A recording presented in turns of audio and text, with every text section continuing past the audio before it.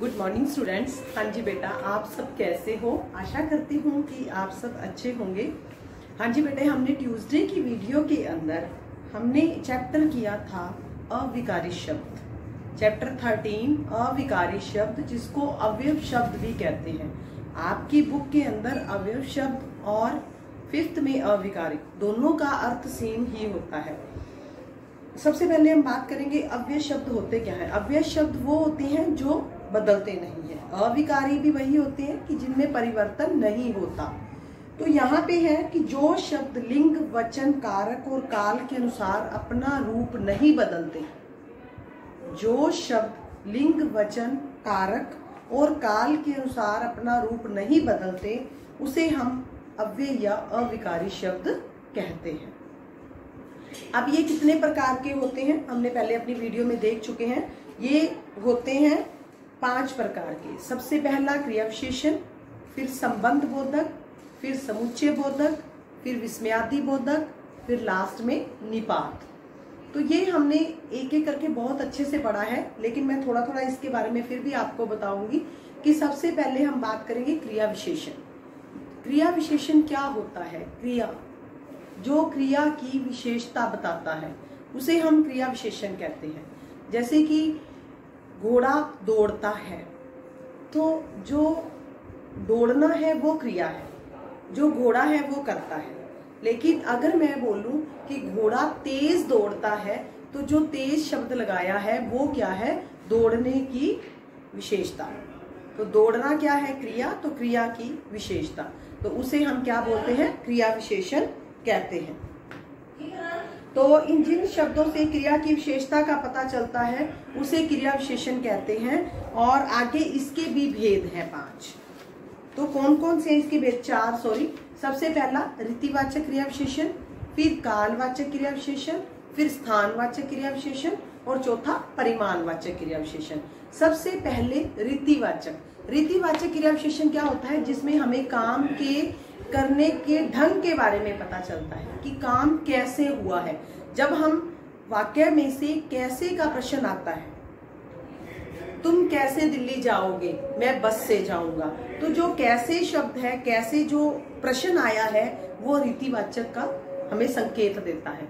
हमें पता चलता है इससे कि आप, कभी भी आपको कोई वाक्य दिया गया है क्रिया विशेषण के अंदर तो आप उसका पहले क्वेश्चन बना के देख लें। वो कब से स्टार्ट होगा? वो कैसे से स्टार्ट होगा? वो कहाँ से स्टार्ट होगा? तो वो जो ये क्वेश्चंस बन रहे हैं तो जो कैसे आएगा, जब बनेगा, कैसे से बनेगा तो वो रीतिवाचक होगा। क्योंकि वो ढंग पूछ रहा है कि किस जो कार्य हुआ है, वो किस ढंग से हुआ है। दूसरा है स्थानवाचक क्रिया विशेषण स्थानवाचक कहाँ? मैंने अभी आपको बताया है कि कहाँ का भी क्वेश्चन है कि तुम कहाँ बैठे थे? मैं ऊपर बैठा था। तुम कहाँ गए थे? मैं दिल्ली गया था। तो जो कहाँ शब्द है, जो कहाँ का प्रश्न आया है, वो हमें क्या बताता है? वो हमें बताता है स्थानवाचक के बारे में। बाग में बैठा था, बगीचे में बैठा था, स्कूल गया था हॉस्पिटल में था, अपने ऑफ़िस में था, बाहर था, अंदर था तो ये सारी चीज़ें जो एक एग्ज़ाम्पल है, वो क्या है? स्थानवाचक के। उसके बाद हम बात करते हैं कालवाचक की। कालवाचक हमें क्या बताता है? टाइम के बारे में। कालवाचक में क्या होता है कि जिससे कब से प्रश्न बने, कि तुम व्यायाम कब करते हो? मैं प्रतिदिन व्यायाम करता हूँ। कब का मतलब क्या है? कब का मतलब पीछे क्वेश्चन आ गया तो उसका आंसर हम किसमें दे रहे हैं? तो उसे हम कालवाचक कहेंगे, क्योंकि वो समय की और संकेत कर रहा है कि काम कब हुआ है। तो इसीलिए उसे हम कालवाचक कहते हैं। उसके बाद हम बात करते हैं परिमाणवाचक। परिमाणवाचक में क्या होता है कि हमें उनकी मात्रा के बारे में पता चलता है। तो इसमें क्वेश्चन क्या बनता है? इसमें क्वेश्चन बन रहा है कि मात्रा के बारे में बताएँ। मैं उसकी कविताओं पर खूब हंसा। तो इसमें है कि माँ थोड़ी परेशान हुई। मैं शीघ्र ही यह तुम्हारे लिए पर्याप्त होगा। आज अधिक वर्षा हुई। इसमें हमें मात्रा का पता चलता है कि कौन सा काम कितना हुआ, कितना। तो क्वेश्चन किससे स्टार्ट होगा? कितना से। तो इसीलिए मैं उसकी कविताओं पर कितना हंसा। तो कितना क्वेश्चन है तो वो क्या है, उसको हम परिमाणवाचक क्रिया विशेषण कहेंगे। अब हम इसका दूसरा टॉपिक लिखते हैं, संबंध बोधक।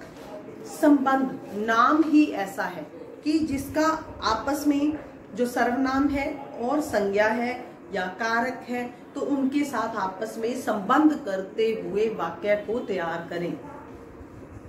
जो शब्द वाक्य के पदों, शब्दों का संबंध वाक्य के किसी संज्ञा या सर्वनाम के साथ जोड़ते हैं, उसे हम संबंध बोधक शब्द कहते हैं। जैसे कि, उस मंदिर के समीप मेरा घर है।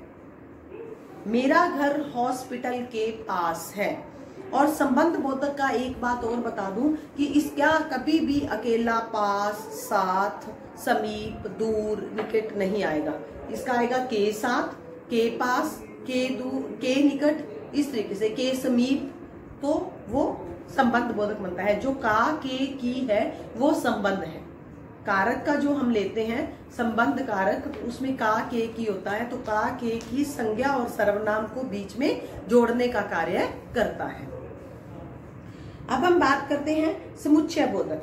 समुच्चय बोधक क्या होता है कि हमारे पास दो वाक्यांश दिए गए हैं तो उनको जोड़कर बनाना है। तो उसके अंदर और आ जाएगा, इसलिए आ जाएगा, क्योंकि आ जाएगा तो आ जाएगा, जहाँ आ जाएगा।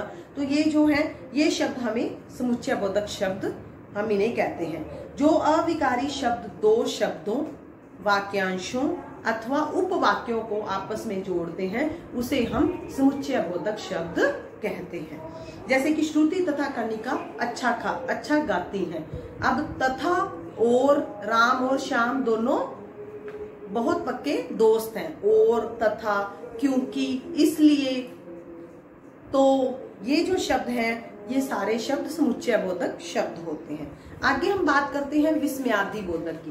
विस्मयादि बोधक क्या होता है? जैसे कि नाम से ही हमें पता चल रहा है विस्मय।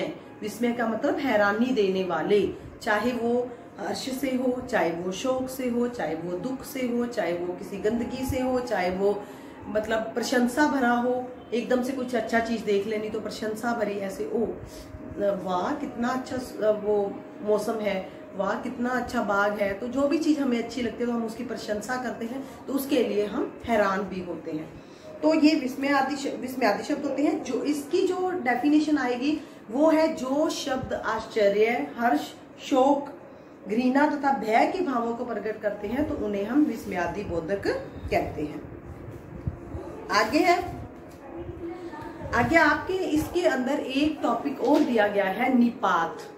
निपात का क्या अर्थ होता है? ये आपको मैं अच्छे से समझा दूँ कि निपात वो होता है जो एक छोटा सा शब्द लगने पर ही हमारे वाक्य पे और ज़्यादा, वाक्य के अर्थ पे और ज़्यादा बल देता है। जैसे कि मैं तो जाऊँगा ही। अब ही जो लग गया, ही का मतलब है कि कोई और जाए या ना जाए, मैं तो जाऊँगा ही। इस पे वो बल दे रहा है इस बात पे, इस पे वो अपना बल दे रहा है, ही शब्द जो है, वो बल दे रहा है। इस तरीके के बहुत सारे शब्द हैं जो अपने ही वाक्य पर बल देते हैं, जिससे, जिसको हम निपात कहते हैं। तो इसमें हिंदी में कुछ ऐसे भी शब्द हैं जो वाक्य में प्रयोग किए गए किसी शब्द के बाद लगकर उसके अर्थ में विशेष प्रकार का बल देते हैं। तो उन्हें हम निपात कहते हैं। हालाँकि इनका अपना कोई अर्थ नहीं होता है। अगर मैं अकेला ही बोलूँ तो उसका कोई अर्थ नहीं होता। लेकिन जब मैं जाऊँगा ही, मैंने उसके साथ लगा दिया तो वो बलपूर्वक वाक्य बन गया। तुम तो कोई भी काम ठीक से नहीं कर सकते। तो तो क्यों लगा है? तो भी निपात शब्द है। इसमें भी बहुत सारे हैं तो भी, ही, मात्र, केवल, तक, भर, आदि। ये सारे क्या है? निपात शब्द हैं।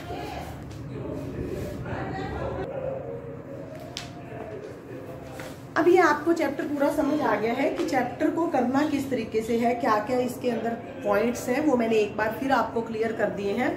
अब हम इसका अभ्यास कार्य करने जा रहे हैं कि सही उत्तर के आगे सही का चिन्ह लगाइए। यानी कि एमसीक्यूज दिए गए हैं तो सबसे पहले मैं आपको बोलूँगी, पहला है, क पाठ अपना पाठ ध्यान पूर्वक पढ़ो। यहाँ पे हम करेंगे एमसीक्यूज इसका क पाठ है, अपना पाठ ध्यान पूर्वक पढ़ो। जिसको अंडरलाइन किया गया है ध्यान पूर्वक में हमें चार ऑप्शन दिए गए हैं। रीतिवाचक, कालवाचक, स्थानवाचक, परिमाणवाचक। तो क्या आ जाएगा? रीतिवाचक।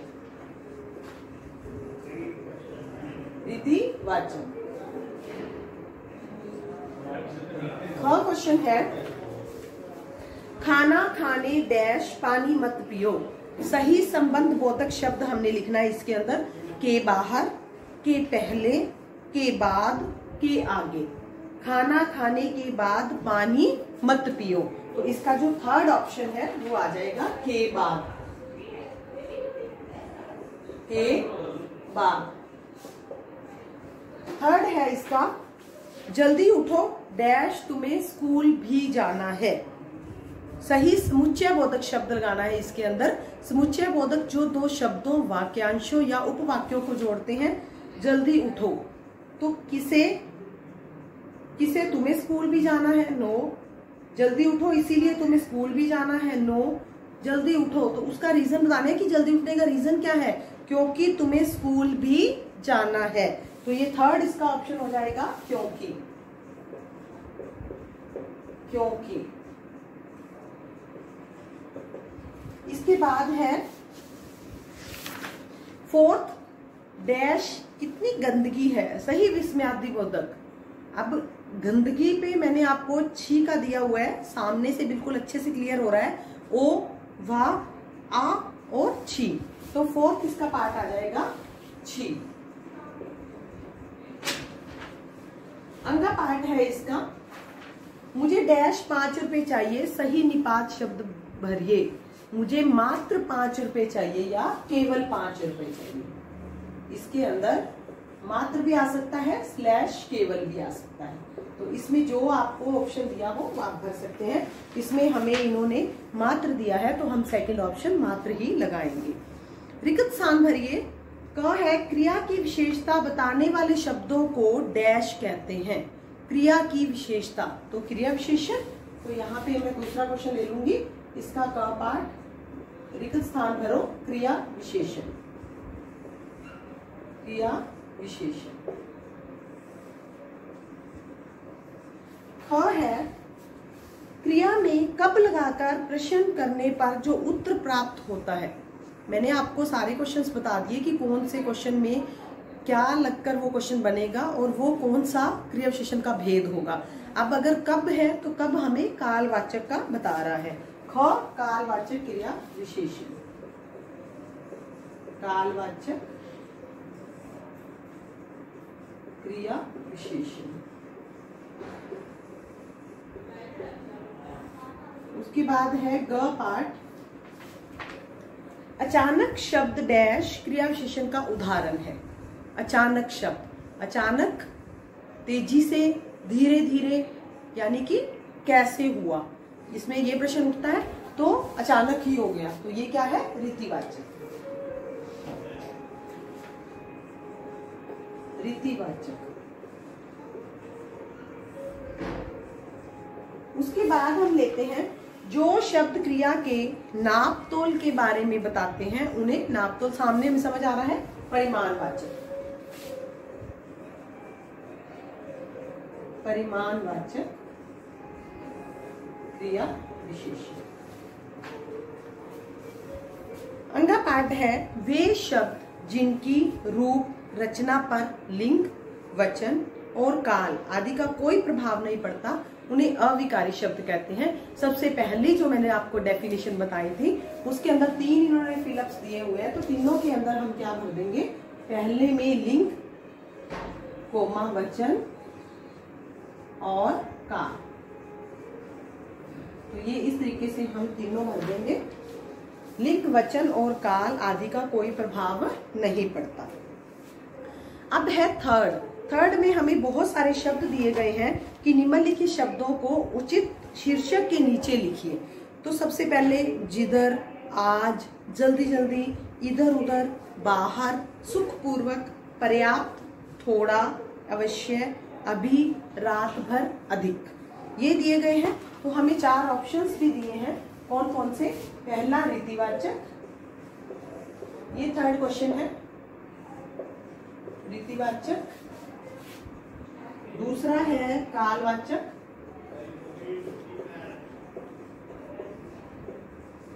तीसरा है स्थानवाचक। और चौथा है परिमाणवाचक।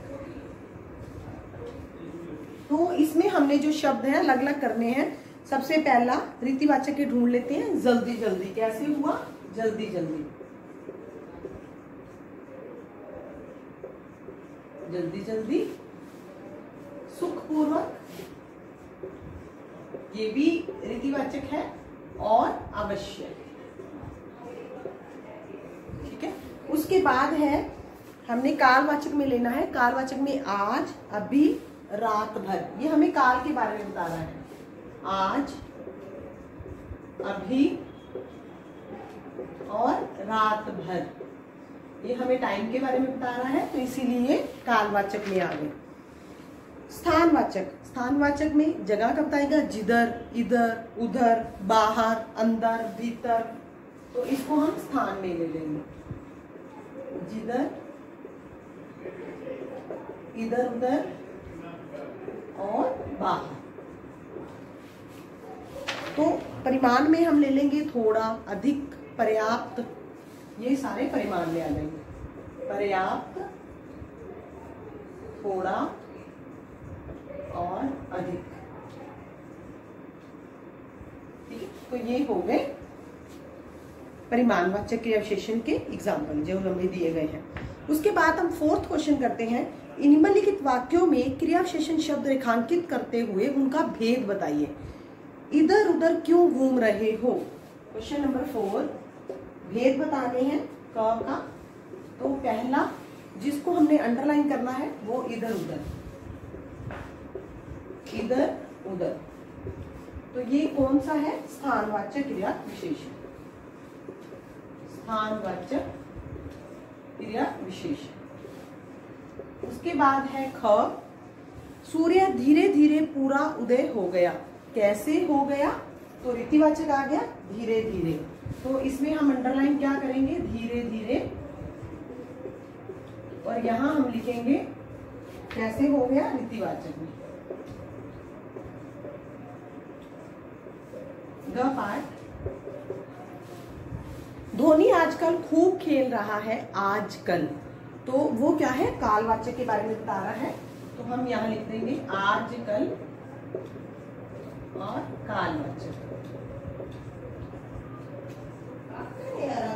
उसके बाद घ पार्ट घ सुनील ऊपर बैठा है, ऊपर स्थानवाचक तो हम यहाँ ऊपर को अंडरलाइन कर देंगे, ऊपर और स्थानवाचक ऊपर और स्थानवाचक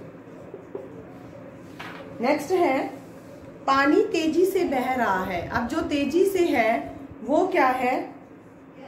पानी किस तरीके से बह रहा है? तेज़ी से। तो वो रीतिवाचक। तेज़ी से। तेज़ी से रीतिवाचक। कैसे बह रहा है? आंसर में हमें पता चल रहा है, तेज़ी से। ध्यान से पाठ पढ़ा करो। ध्यान से। कैसे पाठ पढ़ा करो? ध्यान से। तो ये रीतिवाचक। ध्यान से रीतिवाचक पानी का गिलास नीचे रख दो। छह पार्ट है। नीचे रख दो। नीचे जगह है तो स्थानवाचक नीचे रख दो तो यहाँ पे हम इसको ले लेंगे स्थानवाचक तो ये क्या हो गया? ये हमारे क्रिया विशेषण को रेखांकित कर भेद के, उनके भेदों के नाम हो गए। आगे हम करते हैं क्वेश्चन नंबर फाइव। अब हम बात करते हैं क्वेश्चन नंबर फाइव की। विकृत स्थान से उचित संबंध बोधक शब्द भरिए। Question number five. संबंध बोधक मैंने आपको बताया है कि के साथ, के पास, के पहले, के बाद और के, बस यही वाले ऐसे जो शब्द हैं, साथ में के ज़रूर लगेगा। तो हम इसमें रिक्त स्थान भरने हैं। खाली स्थान भरो। क, मुझे बर्फ़ी डैश रसगुल्ला भी चाहिए। मुझे बर्फ़ी के साथ के साथ रसगुल्ला भी चाहिए। ख पाठ है, मेरे घर डैश मेट्रो स्टेशन है। मेरे घर के पास मेट्रो स्टेशन है, के पास। ग है, नहाने डैश पसीना सुखा लो, नहाने के पहले कि बाद में कैसे होगा? के पहले, पसीना सुखा लो तो ख पाठ है, इस काम डैश ये भी कर देना, इस काम के बाद ये भी कर देना, इस काम के बाद ये भी कर देना। तो अंगा पाठ है, श्री राम, लक्ष्मण और सीता डैश वन में गए। श्री राम, लक्ष्मण और सीता के साथ के साथ वन में गए। आगे है, निम्नलिखित रिक्त स्थानों की पूर्ति उचित समुच्चय बोधक शब्द से कीजिए। अब हमें समुच्चय बोधक शब्द भी हमने किए हैं कि जो दो शब्दों, वाक्यांशों या उपवाक्यों को जोड़ते हैं, उनको हम समुच्चय बोधक शब्द कहते हैं। तो सबसे पहले हम क करेंगे प्रसाद जी डैश निराला जी हिंदी के महाकवि हुए हैं।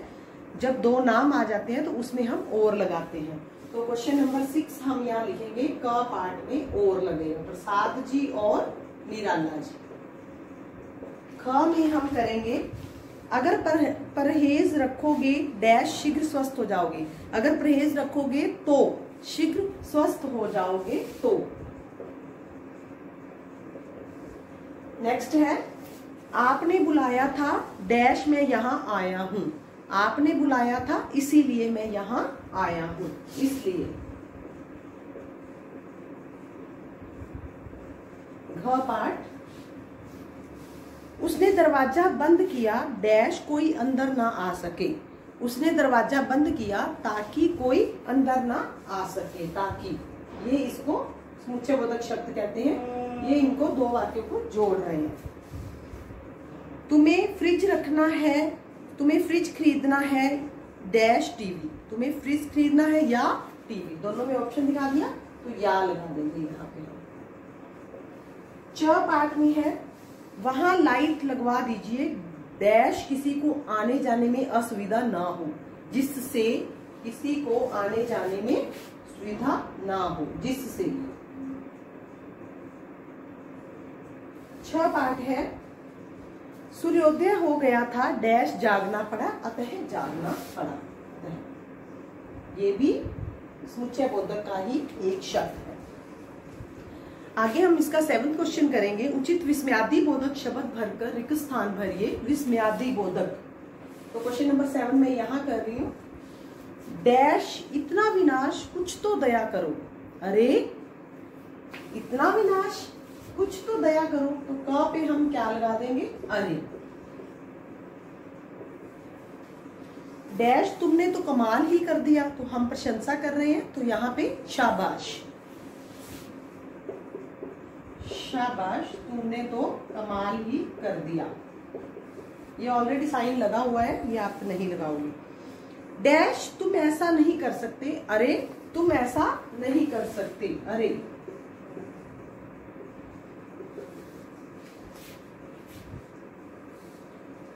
डैश, जो कोई भी आगे बढ़ा।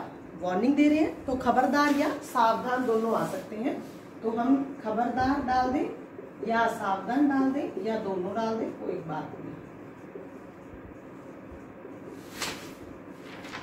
डैश, पिंकी को चोट लगी ओ, पिंकी को चोट लग गई। ओ। तो ये भी विस्मयाति बोधक शब्द है। तो हमारा जो आगे क्रिएटिविटी दी हुई है, इसके अंदर गतिविधि जो दी हुई है सॉरी तो वो वर्ग पहेली में नीचे दिए गए वर्ग में से उचित क्रिया विशेषण शब्द चुनकर लिखिए। ये बच्चे आप अपने आप से करोगे कि इसमें कौन कौन से क्रिया विशेषण शब्द हैं। तो आप इन शब्दों को सर्कल करके यहाँ पे आपको स्पेस भी दिया गया है एक बॉक्स के अंदर, उसमें आप राइट कर दोगे पेंसिल से।